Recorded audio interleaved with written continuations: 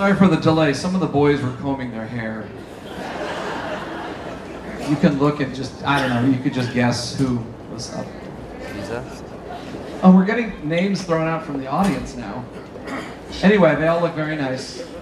This rain is really loud. I, is there such a thing as a rain delay with a concert? Because it's really loud, but we probably should move on. Okay.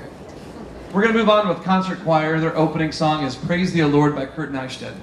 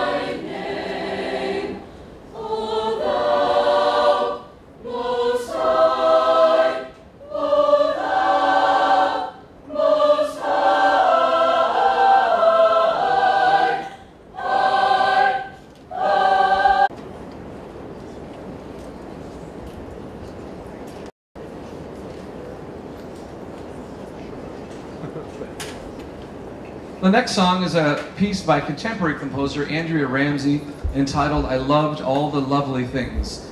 The lyrics in the beginning, uh, when I die, basically, when I die, let me know that I loved all the wonderful, beautiful things out there in life. This is uh, wonderful poetry and really pretty music. I loved all the lovely things.